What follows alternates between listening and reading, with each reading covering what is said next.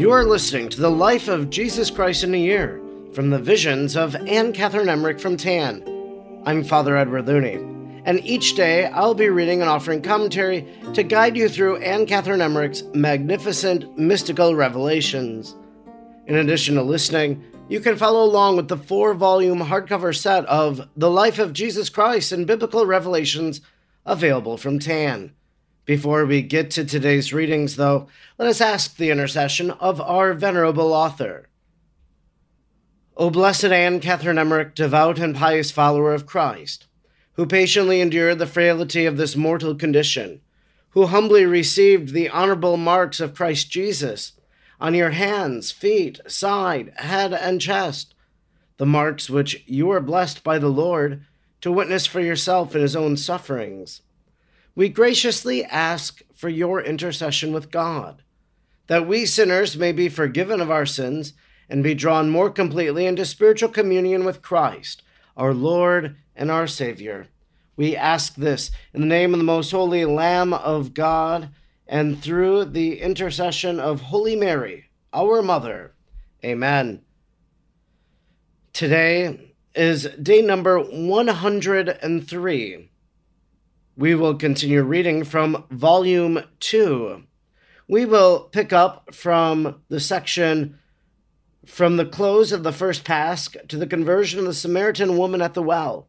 Today we will begin reading number 12 Jesus at Jacob's well near Sychar, Dinah, the Samaritan. On the following day, Jesus crossed the little river and leaving Mount Gerizim to the right, approached Sychar. Andrew, James the Greater, and Saturnin accompanied him, the others having scattered in different directions. Jesus went to the well of Jacob, on a little hill in the inheritance of Joseph to the north of Mount Gerizim and south of Mount Ebal. Sychar lay about a quarter of an hour to the west in a valley which ran along the west side of the city. For about an hour, about two good hours northward from Sychar stood the city of Samaria upon a mountain. Several deeply rutted roads ran from different points around the little hill and up to the octangular buildings that enclosed Jacob's well, which was surrounded by trees and grassy seats. The spring house was encircled by an open arched gallery under which about twenty people could find standing room. Directly opposite the road that led from Sychar and under the arched roof was the door, usually kept shut, that opened into the spring house proper. There was an aperture in the cover of the latter, which could be closed at pleasure. The interior of the little spring house was quite roomy. The well was deep and surrounded by a stone rim, high enough to afford a seat. Between it and the walls, one could walk around freely. The well had a wooden cover, which, when opened, disclosed a large cylinder just opposite the entrance and lying across the well. On it hung the bucket, which was unwound by means of a winch. Opposite the door was a pump for raising the water to the top of the wall of the spring house, whence it flowed out to the east, south, and west under the surrounding arches into three little basins dug in the earth. They were intended for travelers to perform their ablutions and wash their feet, also for watering beasts of burden. It was toward midday when Jesus and the three disciples reached the hill. Jesus sent them on to Sychar to procure food, for he was hungry, while he himself ascended the hill alone to await them. The day was hot, and Jesus was very tired and thirsty. He sat down a short distance from the well on the side of the path that led up from Sychar. Resting his head upon his hand, he seemed to be patiently waiting for someone to open the well and give him to drink. And now I saw a Samaritan woman of about thirty years, a leathern bottle hanging on her arm, coming up the hill from Sychar to draw water. She was beautiful, and I remarked how briskly and vigorously and with what long strides she mounted the hill. Her costume appeared somewhat studied, and there was an air of distinction about it. Her dress was striped blue and red, embroidered with large yellow flowers. The sleeves above and below the elbow were fastened by yellow bracelets and were ruffled at the wrist. She wore a white stomacher ornamented with yellow cords. Her neck was entirely concealed by a yellow woolen collar, thickly covered with strings of pearl and coral. Her veil, very fine and long, was woven of some rich woolen material. It hung down her back, but by means of a string could be drawn together and fastened around her waist. When thus worn, it formed a point behind, and on either side folds in which the elbows could comfortably rest. When both sides of the veil were fastened on the breast, the whole of the upper part of her person was enveloped, as if in a mantle. Her head was bound with fillets that entirely concealed the hair. From her headdress, there arose above the forehead something like a little tower of a crown. Tucked up behind it lay the forepart of the veil, which, when let down over her face, reached to the breast. She had her large brownish goat or camel hair apron with its open pockets thrown up over her right arm, so that the leather bottle hanging on that arm was partly concealed. This apron was similar to those usually worn at such work as drawing water.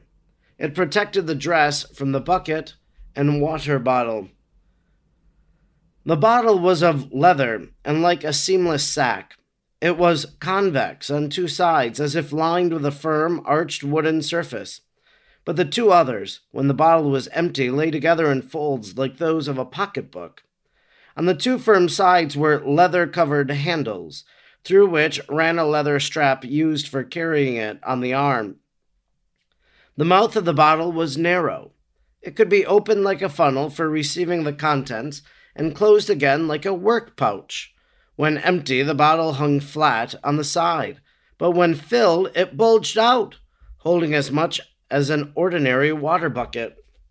It was under this guise that I saw the women briskly ascending the hill to get water from Jacob's well for herself and others. I took a fancy to her right away. She was so kind, so frank, so open hearted. She was called Dinah, was the child of a mixed marriage and belonged to the sect of Samaritans. There's a footnote. In the Roman martyrology, she is called Photina. She lived in Sychar, but it was not her birthplace. Her peculiar circumstances were unknown to the inhabitants, among whom she went by the name of Salome. Both she and her husband were very much liked on account of their open, friendly, and obliging manners. The windings of the path by which she mounted the hill prevented Dinah's seeing the Lord until she actually stood before him. There was something startling in the sight as he sat there exhausted and all alone on the path leading to Jacob's well. He wore a long white robe of fine wool like an alb, bound with a broad girdle. It was a garment such as the prophets wore, and which the disciples usually carried for him. He made use of it only on solemn occasions when he preached or fulfilled some prophecy. Dinah, coming then suddenly upon Jesus, was startled. She lowered her veil and hesitated to advance for the Lord was sitting full in her path. I saw passing through her mind the characteristic thoughts A man? What is he doing here? Is it a temptation? She saw that Jesus was a Jew, as beaming with benevolence. He graciously drew his feet back, for, for, for the path was narrow with the words, Pass on and give me to drink. These words touched the woman. Since the Jews and the Samaritans were accustomed to exchange only glances of natural aversion, and so she still lingered, saying, Why art thou here all alone at this hour?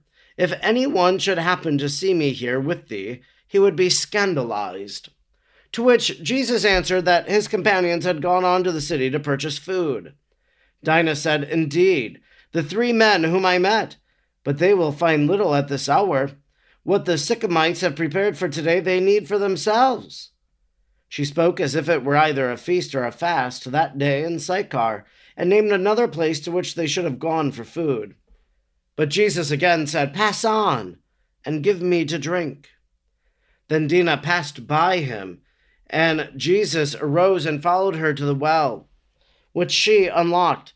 While going thither, she said, How canst thou, be a Jew, ask a drink from a Samaritan? And Jesus answered her, If thou didst know the gift of God, and who he is that saith to thee, Give me to drink, thou wouldst perhaps have asked of him, and he would have given thee living water. Then Dinah loosened the cover and the bucket, meanwhile saying to Jesus, who had seated himself on the rim of the well, Sir, thou hast nothing wherein to draw, and the well is deep. Whence then hast thou living water? Art thou greater than our father Jacob, who gave us this well, and drank thereof himself, and his children, and his cattle? As she uttered these words, I had a vision of Jacob's digging the well, and the waters springing up. The woman understood Jesus' words to refer to the water of this well, and so, as she was speaking, she put the bucket on the cylinder, which turned heavily toward it, lowered it, and drew it up again. She pushed her sleeves with the bracelets until they puffed out high above the elbow, and in this way, with bare arms, she filled her leather bottle out of the bucket. Then, taking a little vessel made of bark and shaped like a horn, she filled it with water and handed it to Jesus, who, sitting on the rim of the well, drank it, and said to her, Whosoever drinketh of this water shall thirst again. But he that shall drink of the water that I shall give him shall not thirst forever. Yes, the water that I will give him shall become in him a fountain of water, springing into life everlasting. Dinah replied eagerly, Sir, give me that living water, that I may no more thirst, nor have to come with so much fatigue to draw.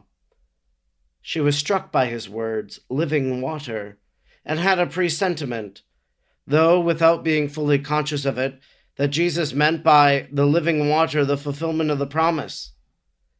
And so it was under prophetic inspiration that she uttered her heartfelt prayer for that living water.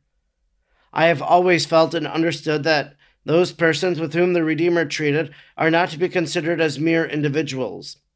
They perfectly represented a whole race of people, and they did so because they belonged to the plenitude of time. And so in Dinah the Samaritan, there stood before the Redeemer the whole Samaritan sect, so long separated from the true faith of Israel, from the fountain of living water. Jesus at the well of Jacob thirsted after the chosen souls of Samaria in order to refresh them with the living waters with which they had cut themselves off. It was that portion of the rebellious sect still open to salvation that here thirsted after this living water, and in a certain way reached out an open hand to receive it. Samaria spoke through Dinah. Give me, O Lord, the blessing of the promise. Help me to obtain the living water from which I may receive more consolation than from this temporal well of Jacob through which alone we still have communication with the Jews. When Dinah had thus spoken, Jesus said to her, Go home, call thy husband, and come back hither. And I heard him give the command twice, because it was not to instruct her alone that he had come. In this command, the Redeemer addressed the whole sect Samaria, call hither him to whom thou belongest him, who by a holy contract is lawfully bound to thee. Dinah replied to the Lord, I have no husband. Samaria confessed to the bridegroom of souls that she had no contract, that she belonged to no one. Jesus replied, Thou hast said well, for thou hast had five husbands, and he with whom thou now livest is not thy husband. Thou hast spoken truly. In these words, the Messiah said to the sect, Samaria, thou speakest the truth. Thou hast been espoused to the idols of five different nations, and thy present alliance with God is no contract. Here Dinah, lowering her eyes and hanging her head, answered, Sir, I see that thou art a prophet. And she drew down her veil. The Samaritan sect recognized the divine mission of the Lord and confessed its own guilt. As if Dinah understood the prophetic meaning of Jesus' words, and he with whom thou livest is not thy husband. That is, thy actual connection with the true God is imperfect and illegal. The religion of the Samaritans has, by sin and self will, been separated from God's covenant with Jacob.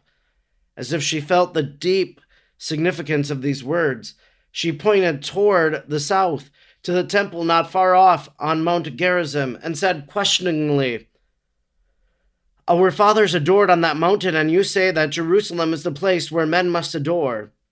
Jesus replied with the words, Woman, believe me, the hour cometh when neither in Gerizim nor in Jerusalem wilt thou adore the Father. In this reply he meant to say Samaria. The hour cometh when neither here nor in the sanctuary of the temple will God be adored, because he walks in the midst of you. And he continued, you adore that which you know not, but we adore that which we know, for salvation is of the Jews. Here he related to her a similitude of the wild, unfruitful suckers of trees, which shoot forth into wood and foliage, but produce no fruit. It was as if he had said to the sect, Samaria, thou hast not security in thy worship. Thou hast no union, no sacrament, no pledge of alliance, no ark of the covenant, no fruit. The Jews, from whom the Messiah will be born, have all these things the promise and its fulfillment. And again, Jesus said, But the hour cometh, and now is when the true adorers will adore the Father in spirit and in truth, for the Father wills such to adore him. God is a spirit, and they that adore him must adore him in spirit and in truth. By these words the Redeemer meant Samaria, the hour cometh, yea, it now is, when the Father by true adorers will be honored in the Holy Ghost, and in the Son, who is the way and the truth. Dinah replied, I know that the Messiah cometh. When he is come, he will tell us all things. In these words, here at the well of Jacob spoke that portion of the Samaritan sect which might lay some legitimate claim to the promise. I hope for, I believe in the coming of the Messiah. He will help us. Jesus responded, I am he. I, who now speak to thee. By this he said to all Samaria that would be converted, Samaria, I came to Jacob's well athirst for thee, thou water of this well. And when thou didst give me to drink, I promised thee living water that would never let thee thirst again and thou didst, hoping and believing, make known to me thy longing for this water. Behold, I reward thee, for thou hast allayed my thirst after thee by thy desire after me. Samaria, I am the fountain of living water. I who now speak to thee am the Messiah. As Jesus pronounced the words, I am the Messiah, Dinah, trembling with holy joy, gazed at him in amazement. But suddenly, recovering herself, she turned, and leaving her water bottle standing and the well open, she fled down the hill to Sychar to tell her husband and all whom she met what had happened to her. It was strictly forbidden to leave the well of Jacob open, but what called Dinah now for the well of Jacob? What cared she for her bucket of earthly water? She had received the living water, and her loving, joyous heart was longing to pour its refreshing streams over all the neighbors. But as she was hurrying out of the spring house, she ran past the three disciples who had come with the food and had already been standing for some time at a little distance from the door, wondering what their master could have to say for so long with a Samaritan woman. But through reverence for him, they forbore to question. Dinah ran down to Sychar and with great eagerness said to her husband and the others whom she met on the street, Come up to Jacob's well. There you will see a man that has told me all the secret actions of my life. Come he is certainly the Christ. This concludes our reading for today. We will pick up tomorrow as we are finishing mid chapter, but now we reflect on what we have listened to, what we have just read. This was actually, in my opinion, I think one of the more profound readings from Anne Catherine Emmerich that we've had in these 103 days. Sure, I enjoyed many of the other readings, yes, don't get me wrong. But what I really liked about this reading here is that it made this gospel passage from St. John, and maybe what you want to do is you want to go back to your scriptures and you want to read the woman at the well, read the scriptural account, and then we've already read half of this reading, and then we'll get the other half tomorrow. But it really made it more vivid for me to have the description of the woman as she's walking up to the well, to have her engage in casual conversation with Jesus about the three disciples going to get food in the village. It just made it much more real to me that the imagination that I have to apply to the scriptures to see it play out really occurred through the writing of Anne Catherine Emmerich. It enriched my experience of the woman at the well. I thought it was interesting to note that Jesus sends these disciples away because he was hungry. I think a lot of times we think about Jesus and maybe we don't think about those earthly needs that he, as a divine person with a human nature and a divine nature, had. That as he lived his life on earth, he hungered at times, sent his disciples away. Could it have been that the hunger was just an excuse to send the disciples away so that he could have this personal conversation with the Samaritan woman? I'm not sure. Possibly, huh? But it says he was hungry and he was waiting for them. I thought it too was interesting, kind of the dress of the Samaritan woman, as Anne Catherine Emmerich uh, describes it. Her costume appeared somewhat studied, and there was an air of distinction about it. Her dress was striped blue and red embroidered with large yellow flowers. I thought the word embroidered was interesting. Of course, I'm thinking of embroidery in our contemporary age, maybe in that age, it was a little different than what I would be picturing, but I thought, oh, how technologically advanced they were to embroider. But just getting that little description, you can see this woman coming to the well. We also heard how she, you know, was caught off guard by the presence of Jesus. She wasn't expecting the Lord to be there. Also, too, notice that Anne Catherine Emmerich calls her Dinah or Dina. In the Roman martyrology, the footnote said it was she is called Photina, and I know that's the case in the Eastern Church. So just you wonder why it is, you know, the, these little nuanced differences. The windings of the path by which she mounted the hill prevented Dinah's seeing the Lord until she actually stood before him. There was something startling in the sight as he sat there exhausted and all alone on the path. So Jesus is there. She surprised the Lord is there. Now, take this in a spiritual sense for us. Sometimes in our life, as we're going about our day to day business or as we're doing whatever it is, Maybe sometimes we're startled because we sense that Christ is with us.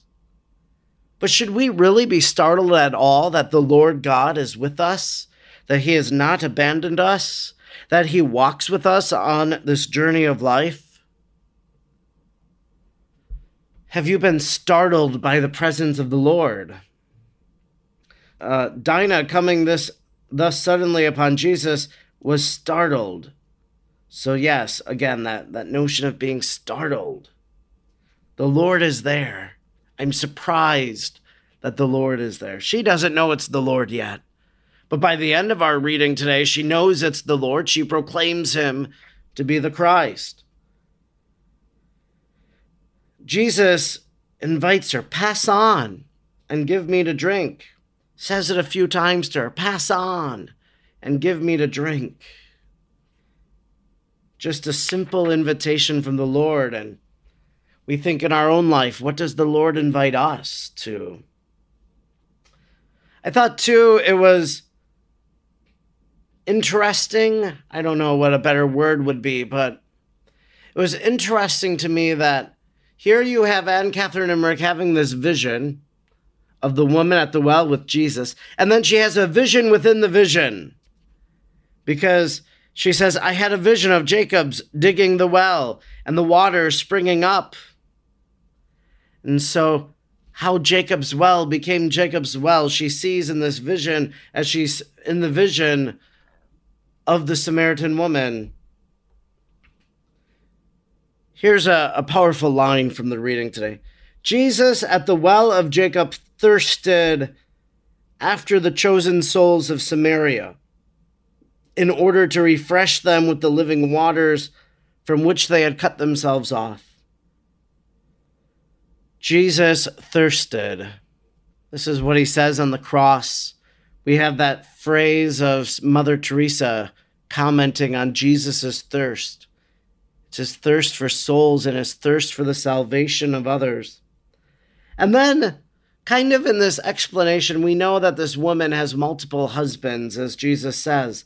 But then there's kind of this, this illusion, this comparison that just as you have had many husbands, well, this parallels the state of Samaria and their false gods and, and so forth and so on. So we kind of get a parallel between the two. And then finally, I just want to leave you with, with these words in the last paragraph we read. She had received the living water, and her loving, joyous heart was longing to pour its refreshing streams over all her neighbors. That the grace of God flooded her soul, and now she wants to flood that grace to other people. God's grace, while meant for you, is also meant to be shared and witnessed. This is exactly what this woman sets out to do as she runs down back into Sychar and to share that she has met a man that has told her all the secret actions of her life. If you want to sit with something in prayer today, don't eat, or sit not only with the joy of this woman, but maybe think about the secret actions of your life that you've tried to hide from God. And realize that Jesus knows them. And in a conversation with you, as he had with the woman at the well, he might call you out too, calling you to conversion, flooding your heart with grace, so that you could pour those streams out to your friends and family. This brings us to a close of our reading and reflection for today. Please be sure to subscribe to the podcast and sign up for email notifications at emmerichpodcast.com and use coupon code ACE25 for 25% off your next order at tanbooks.com. Please share this podcast with others. Share it with your family, text it to your friends, send a message out to your prayer group, let them know you're listening, and encourage them to join you so that you can have holy conversations with them about these writings of Anne Catherine Emmerich. I hope you'll join us next time as we continue meditating on the life of Jesus Christ with the help of Blessed Anne Catherine Emmerich. Until then, may God bless you and Mary pray for you.